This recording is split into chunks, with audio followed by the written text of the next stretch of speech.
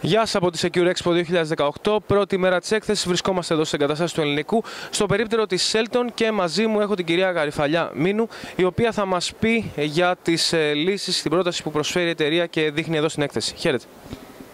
Καλησπέρα και από μένα. Ε, το πρόβλημα είναι το εξής, ότι όλες οι υπάρχουσες κάμερες μπορούν ανα πάσα στιγμή να αδρανοποιηθούν ή να καταστραφούν με ε, οποιαδήποτε λέιζερ.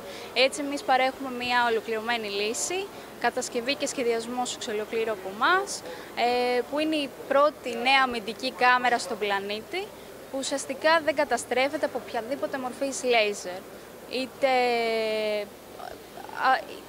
και ανάλογα ακόμα και με την ισχύ δεν καταστρέφεται ε, κάποια ιδιαίτερα χαρακτηριστικά που το κάνουν αυτό το σύστημα να ξεχωρίζει και πώς ακριβώς λειτουργεί; Ε, τα ιδιαίτερα χαρακτηριστικά είναι ουσιαστικά ότι όταν χτυπήσουμε εδώ με λέιζερ, οποιοδήποτε μορφής λέιζερ, το βλέπουμε και στην κάμερα πάνω, η κάμερα συνεχίζει να λειτουργεί και συνεχίζει απρόσκοπτα η καταγραφή της.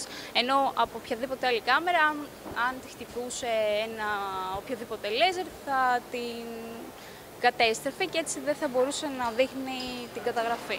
Οπότε είναι μια πολύ καλή δικλίδα ασφαλείας ε, για ε, το, στο κομμάτι των καμερών ασφαλείας. Ε, αξίζει να σημειωθεί το προϊόν προστατεύεται από δίπλωμα ευρεσιτεχνίας και θα υπάρχει στο εξωτερικό η ευρεσιτεχνία, δηλαδή έχει κατατεθεί στο εξωτερικό, οπότε πάμε πολύ καλά. Ευχαριστούμε πάρα πολύ. Ευχαριστώ πολύ και εγώ.